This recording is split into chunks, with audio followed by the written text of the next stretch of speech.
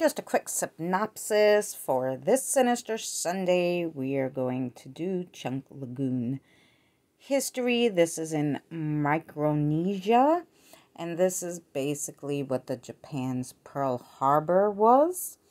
And this is what happened. And now it is the largest graveyard for planes and ships. What's scarier than a graveyard at night? Probably a haunted graveyard that sits 50 feet underwater. This Micronesia's Chuuk Lagoon, formerly known as Truk Lagoon, served as a fortified base for the Japanese Navy during World War II, and it was attacked by American forces during a three day airstrike in 1944. Dozens of warships, planes, tanks, and even railroad cars sank to the bottom of the lagoon where they remain today, in what's known as Ghost Fleet of Truk Lagoon. The ship's graveyard is immensely popular with scuba divers, one of the best wreck diving destinations on the planet.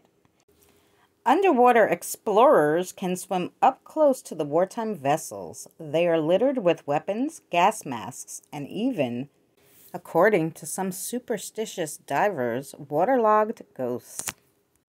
The Americans hoped to wipe out the Japanese Imperial fleet by combining airstrikes, surface ship actions, and submarines attacks to deadly effects.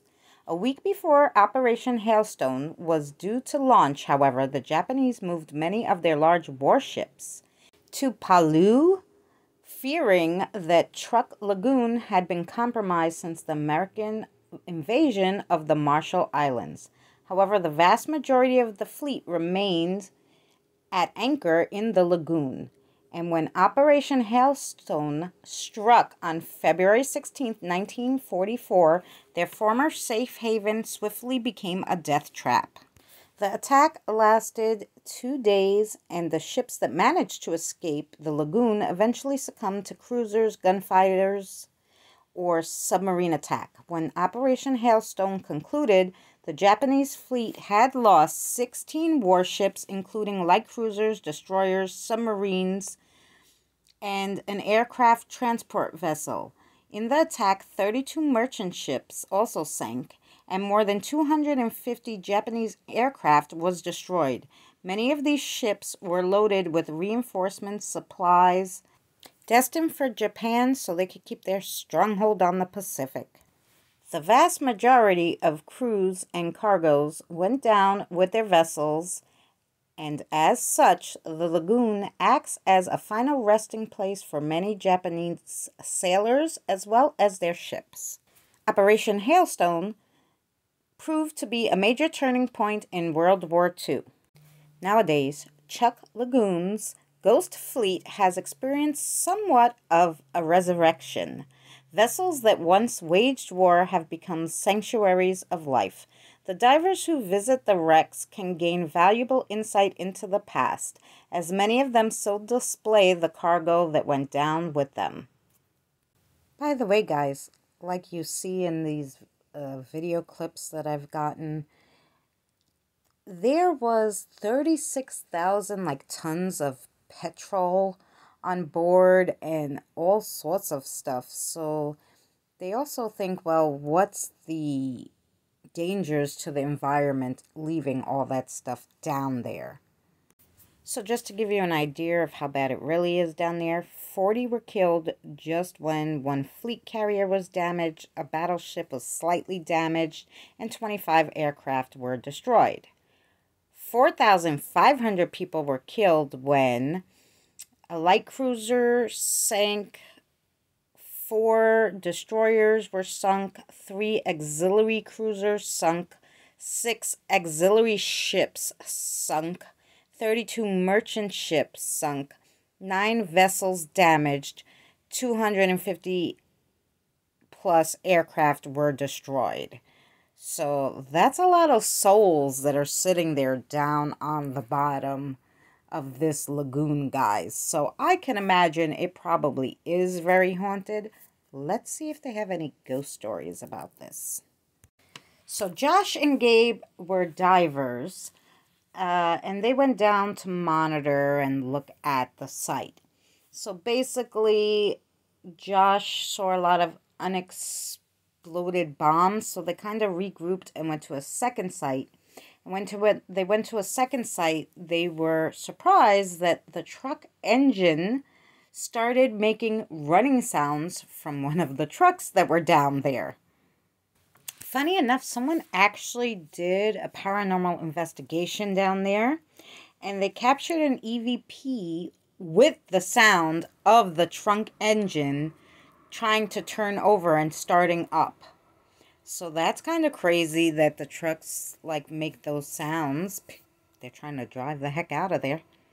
Other divers have reported sounds coming from the shipwreck They've been near the engine room and heard noises of machinery and grinding near the engine room where there is a pile of human remains.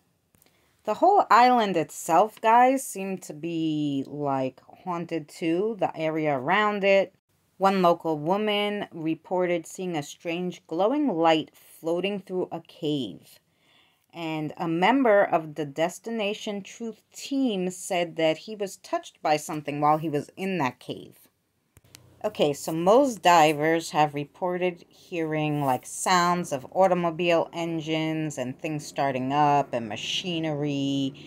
Um, divers also reported hearing human voices emulating from the water now, the Japanese government did try to make recovery efforts to like uh, get the deceased out of there and bury them, but despite that, there is still a lot of human remains down there.